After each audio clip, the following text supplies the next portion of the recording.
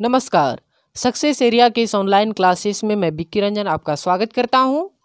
आज हम लोग अपवाह तंत्र का चौथा क्लास शुरू करने वाले हैं। इस चौथे भाग में हम लोग जानेंगे कि भारत की जो प्रमुख पठारी नदियाँ हैं, उसका अपवाह क्षेत्र कहाँ है, उसकी लंबाई कितनी है, और उसका संगम कहाँ पे है। तो आइए शुरू करते हैं आज का वीडियो। सबसे पहले हम लोग जानते हैं कि बंगाल की खाड़ी में कौन कौन सी नदियाँ गिरती है। बंगाल की खाड़ी में गिरने वाली नदियाँ। इन नदियों के नाम को जानेंगे, इसकी लंबाई को जानेंगे और इसका अपवाह क्षेत्र को जानेंगे। दोस्तों, ये जो वीडियो है, जो भी छात्र छात्राएँ प्रतियोगिता परीक्षा की तैयारी कर रहे हैं, उसके लिए बहुत ही महत्वपूर्ण है। तो प्लीज़ इस वीडियो को स्किप न करें और इसे पूरा देखें, ताकि आप कोई भी कंपटीशन की परीक्षा दो तो उसमें अच्छे से अच्छे अंक प्राप्त कर सको। तो आइए आगे बढ़ते हैं हम लोग कि बंगाल की खाड़ी में कौन कौन सी नदियाँ गिरती है, उसका नाम क्या है? तो सबसे पहला आता है दामोदर। दामोदर नदी जो है, वे कहाँ पे गिरती है? बंगाल की खाड़ी में गिरती है। और उसकी लंबाई कितनी है? तो लंबाई 600 किलोमीटर है। लंबाई 600 किलोमीटर। और उसका अपवाह क्षेत्र कितना है? तो अपवाह क्षेत्र ग्यारह हज़ार वर्ग किलोमीटर है। उसके बाद आता है स्वर्ण रेखा स्वर्ण रेखा नदी जो है, इसकी लंबाई कितनी है? तो 433 किलोमीटर है। और इसका अपवाह क्षेत्र कितना है? उन्नीस हज़ार पाँच सौ वर्ग किलोमीटर। आगे है ब्राह्मणी। ब्राह्मणी की लंबाई 705 किलोमीटर है और इसका जो अपवाह क्षेत्र है वो कितना है? तो छत्तीस हज़ार वर्ग किलोमीटर। दोस्तों, ध्यान दीजिएगा कि यहाँ पे हम लोग अपवाह क्षेत्र वर्ग किलोमीटर में पढ़ रहे हैं और लंबाई किलोमीटर में है। प्लीज़ कंफ्यूज मत होइएगा। उसके बाद है महानदी। महानदी की जो लंबाई है, वे कितनी है? तो आठ सौ अंठावन किलोमीटर। और इसका अपवाह क्षेत्र कितना है? तो एक लाख बत्तीस हज़ार नब्बे। एक लाख बत्तीस हज़ार नब्बे। उसके बाद है गोदावरी। गोदावरी की लंबाई कितनी है? एक हज़ार चार सौ पैंसठ है। और इसका अपवाह क्षेत्र कितना है? तीन लाख तेरह हज़ार तीन सौ नवासी। उसके बाद आती है मंजरा। मंजरा नदी इसकी लंबाई तीन सौ तेईस किलोमीटर है और अपवाह क्षेत्र तीस हज़ार आठ सौ इक्कीस है। उसके बाद वैनगंगा। वैनगंगा की लंबाई कितनी है? चार सौ चौरानवे किलोमीटर। और इसका अपवाह क्षेत्र कितना है? इकसठ हज़ार तिरानवे वर्ग किलोमीटर। वैनगंगा के बाद है पैनबंगा। पैनबंगा की लंबाई कितनी है? छः सौ छिहत्तर किलोमीटर। और इसका अपवाह क्षेत्र कितना है? तेईस हज़ार आठ सौ तिरानवे वर्ग किलोमीटर। चलिए आगे हम लोग बढ़ते हैं। आगे है वर्धा। ये सब दोस्तों बंगाल की खाड़ी में गिरने वाली नदियाँ हैं। वर्धा। वर्धा की लंबाई कितनी है? पाँच सौ पच्चीस किलोमीटर है। और इसका अपवाह क्षेत्र कितना है? चौबीस हज़ार सतासी वर्ग किलोमीटर। सबरी, जिसको हम लोग कोलाब के नाम से भी जानते हैं तो इसकी लंबाई चार सौ अठारह किलोमीटर है और अपवाह क्षेत्र बीस हज़ार चार सौ सत्ताईस वर्ग किलोमीटर है। उसके बाद आता है इंद्रावती। इंद्रावती की लंबाई पाँच सौ तेरह किलोमीटर और इसका अपवाह क्षेत्र एक, इकतालीस हज़ार छः सौ पैंसठ है। दोस्तों, उसके बाद है प्राणहिता। प्राणहिता की लंबाई एक सौ तेरह किलोमीटर है और अपवाह क्षेत्र उन्नीस हज़ार सेवेंटी सेवन उन्नीस हज़ार सतहत्तर। कृष्णा नदी। कृष्णा नदी की लंबाई एक हज़ार चार सौ किलोमीटर है और इसका अपवाह क्षेत्र कितना है? दो लाख उनसठ हज़ार वर्ग किलोमीटर। उसके बाद है कावेरी। कावेरी की लंबाई आठ सौ पाँच किलोमीटर और अपवाह क्षेत्र अस्सी हज़ार दो सौ नब्बे वर्ग किलोमीटर। उसके बाद आता है दोस्तों पेनार, जिसकी लंबाई कितनी है? नौ सौ सत्तर किलोमीटर है। चलिए, ये सब हम लोगों ने देखा, बंगाल की खाड़ी में गिरने वाली नदियाँ थी। अब हम लोग जानेंगे कि अरब सागर में कौन कौन सी नदियाँ गिरती है। तो दोस्तों, अरब सागर में गिरने वाली नदियों की संख्या कम है, जिसमें जो प्रमुखता है वह कौन कौन सी है? तो नर्मदा और ताप्ती। नर्मदा और ताप्ती दो ऐसी नदियाँ हैं जो कहाँ पर गिरती है तो अरब सागर में गिरती है। और इसकी लंबाई कितनी है तो नर्मदा की लंबाई एक हज़ार तीन सौ बेरासी है और अपवाह क्षेत्र कितना है, तिरानवे हज़ार एक सौ अस्सी।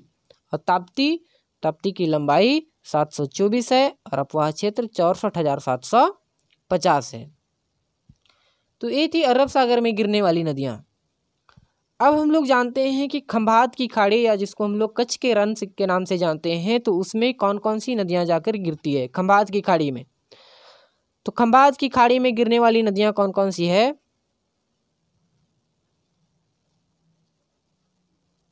देखिए, खंभात की खाड़ी में गिरने वाली नदियों में से साबरमती है, माही है, पश्चिम बनास है और लुनी।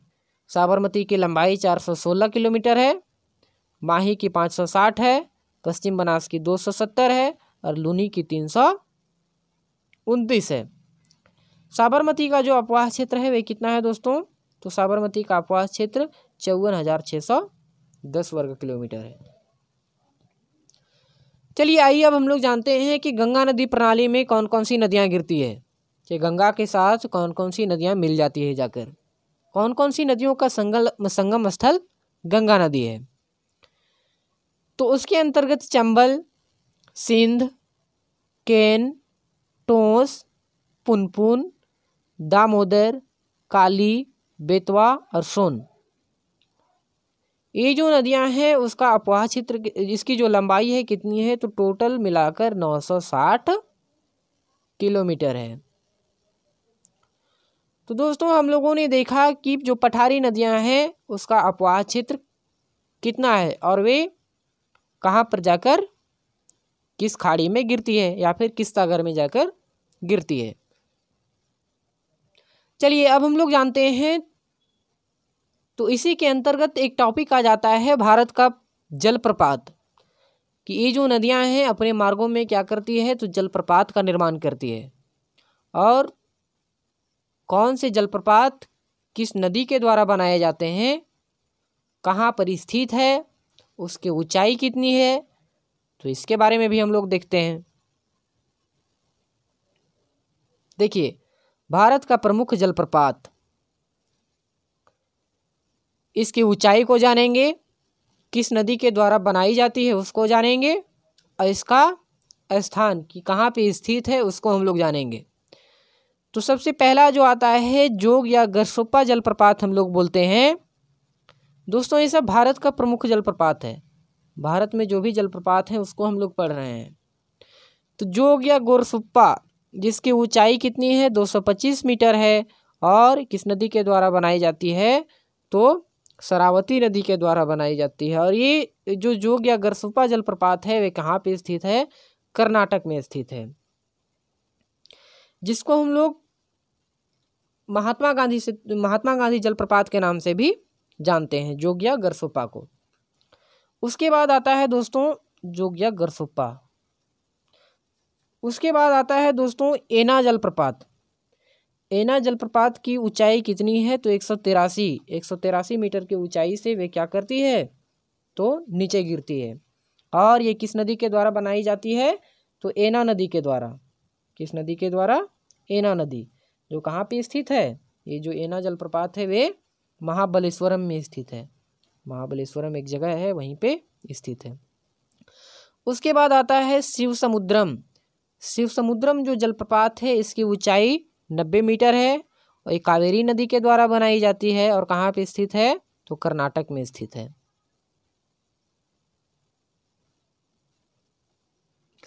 चलिए, अब हम लोग देखते हैं गौतम धाराया, जिसको जोन्हा के नाम से जाना जाता है, जोन्हा जलप्रपात। उसकी ऊंचाई कितनी है? तो पचासी मीटर है और ये किस नदी के द्वारा बनाई जाती है? तो रारू नदी के द्वारा, जो हमारे कहाँ पे स्थित है? हमारे झारखंड में स्थित है। उसके बाद है हुंडरू।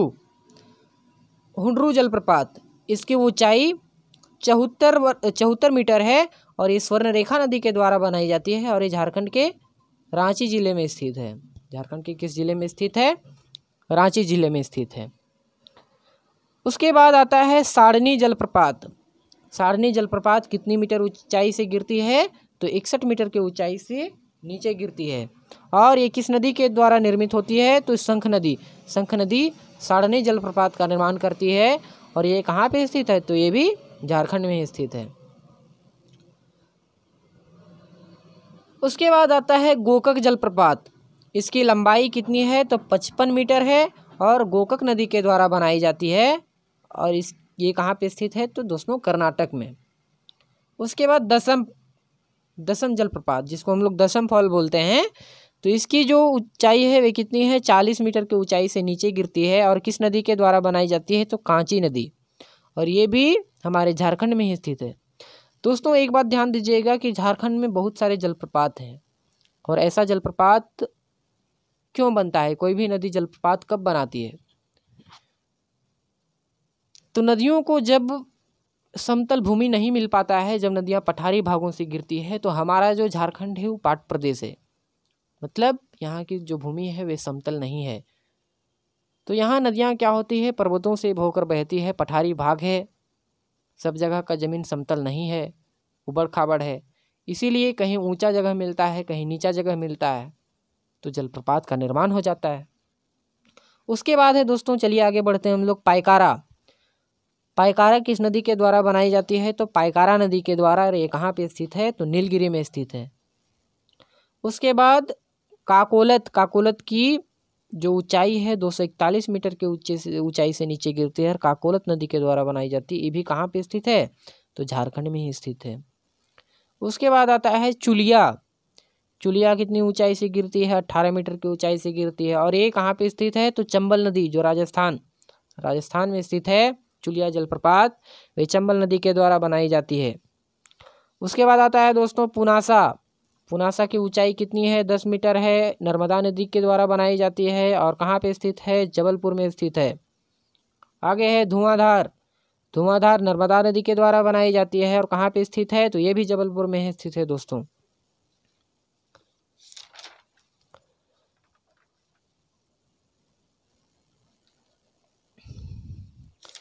तो दोस्तों, इसमें हम लोगों ने देखा, भारत की जो नदियाँ हैं, उसका अपवाह चित्र। उसके बाद भारत के जो प्रमुख जलप्रपात हैं, उसको हम लोगों ने देखा। अब हम लोग जानते हैं कि भारत की जो प्रमुख झीलें हैं, भारत की प्रमुख झीलें कौन कौन सी हैं और कहाँ पे स्थित है? तो दोस्तों, इसको हम लोग देखेंगे अगले क्लास में। आज के लिए बस इतना ही। अगर वीडियो पसंद आया है तो इसे लाइक और शेयर करना ना भूलें। और मेरे यूट्यूब चैनल को भी सब्सक्राइब कर दें। और हाँ जो घंटी का बटन है, उसको दबाना न भूलें। बहुत बहुत धन्यवाद।